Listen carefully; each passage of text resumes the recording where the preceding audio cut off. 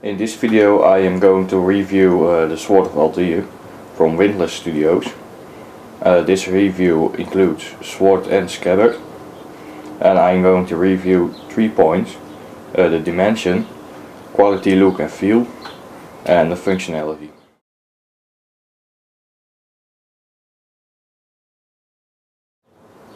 The total length of the sword is 38 inch or 96.5 centimeters the handle is 7.7 inch or 19.5 centimeters. The blade is 30.3 inch or 77 centimeters. And the scabbard is 31.3 inch or 79 centimeters. When the sword is put inside the scabbard, its total length is 39 inch or 99 centimeters.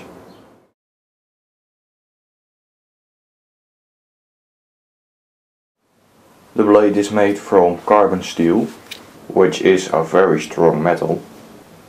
Sewed leather is wrapped around the handle for a nice look and feel. At the end is an eagle head shape. Uh, it's painted to give it an old and used look. Uh, it doesn't look bad, but it doesn't look very real either. So that's a little downside. Uh, the crossguard is uh, also painted, but again, it doesn't look very real. The scabbard is made from wood. Uh, it's wrapped in uh, sewed leather to give it a nice look. Uh, there are also some metal parts uh, mounting on, but they are also painted and uh, again they don't look very real.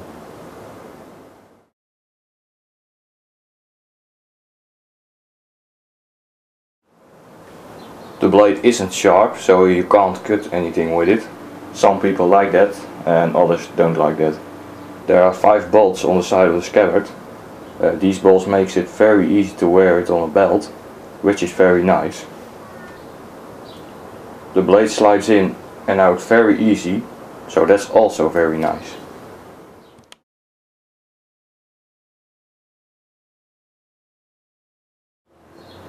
Overall this is a very nice product the only downsides uh, were the painted details, which doesn't look very real, and the blade isn't sharp, so you, you can't cut with it.